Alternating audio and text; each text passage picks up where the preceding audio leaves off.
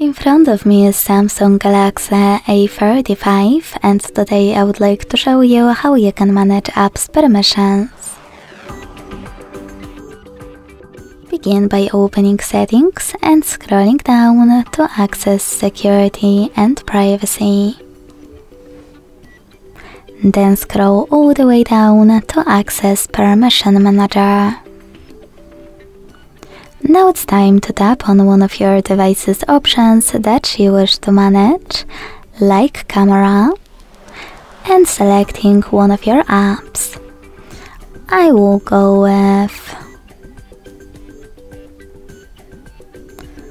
Drive from Not Allowed section. Last but not least, click on one of those options to apply the best one and go back. Allow only while using the app, ask every time or don't allow.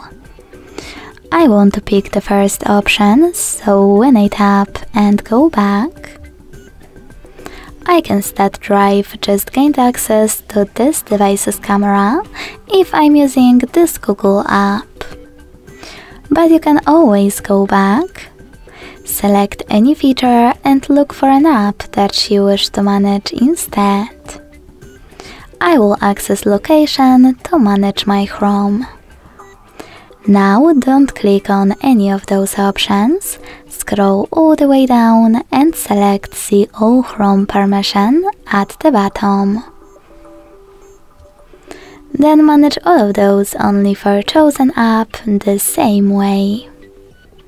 Thanks so much for watching, if you enjoyed this video don't forget to leave a like, comment and subscribe.